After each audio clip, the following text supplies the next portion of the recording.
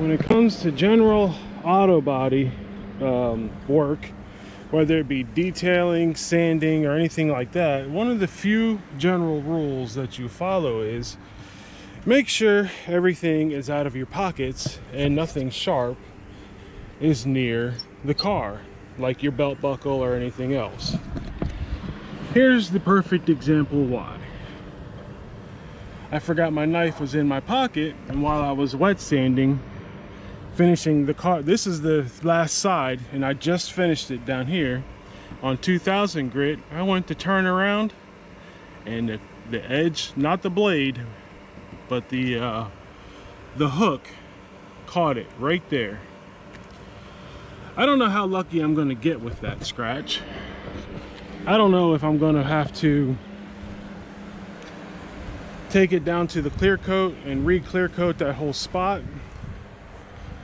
I don't know what I'm gonna have to do with that yet. I haven't really looked at it. I'm just too upset about it. I mean, like things like this I can deal with. I missed this here because I was painting with this open.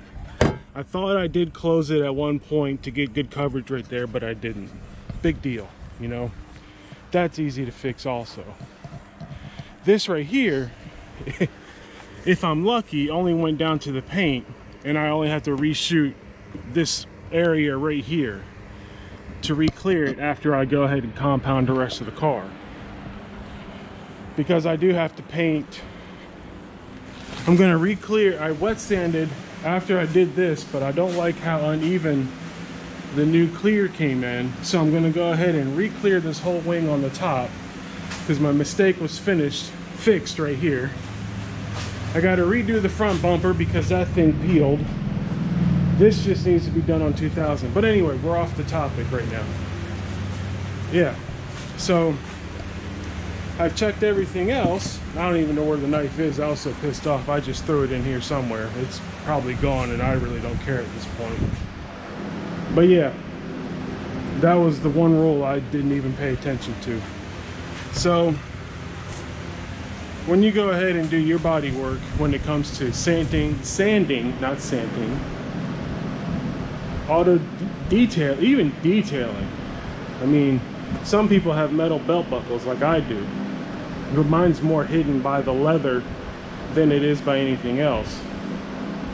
But that was just hanging out the side of my pocket. But anyway, that's my little uh, thing for right now. Hopefully, I'll get this down to 2000, the rear bumper to 2000, and these two pieces to 2000, and that's pretty much going to be it until I get the front bumper resprayed and this wing re-cleared. And that's it. So hopefully in a few minutes here i'm going to pull the camaro back in. We're going to go ahead and clear not clear coat it but start compounding it after the uh, panels cool down for a while because it's been sitting in the sun. And then we'll have to back it back out again once the front bumper um, yeah i'm talking a lot but i know uh, anyway when we get the front bumper back out here, we start painting, I'll start updating more of them. Alright, so I got my little mishap sanded down. There's a little, little bit better, better feathering of this. Um, but we got the car back in the bay because I'm going to assemble it tomorrow and then I'm going to re-clear coat the whole thing and leave it alone. I'm chasing my tail. We did compound and got some stuff looking good but the problem is is some of it has these god-awful scratches we don't even know where they came from i got trash in my sandpaper or something i don't know so the whole car has been sanded and since because the hatch needs to be re-cleared and re-cleared anyway. And i got to do this repair over here redo this. I'm just going to go ahead and assemble the car do a coat of clear on it and leave it alone. Um, I'm getting tired and it's hot. And the front bumper still hasn't cured yet from the primer. Again like the same situation we had with the hood over there. So that's it for today. It's been a nightmare of a day, but it's getting hotter every day. It's just the humidity. I think Arizona or somewhere over there would be better.